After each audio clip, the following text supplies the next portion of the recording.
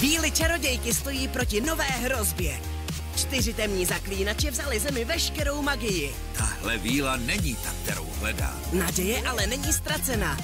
Spolu s poslední vílou země, Roxy, se nevzdávají a usilují o navrácení víl a magie zpět do země lidí. To je hrůza. Vždycky jsem milovala příběhy o vílách, ale tenhle se stát nikdy neměl. Takže na nás lidé na zemi zapomněli. Nová řada Wings Club na tuty. Víme, že kouzelníci Černého kruhu ještě nesplnili úkol. Na zemi je pořád jedna víla a to znamená, že máme naději.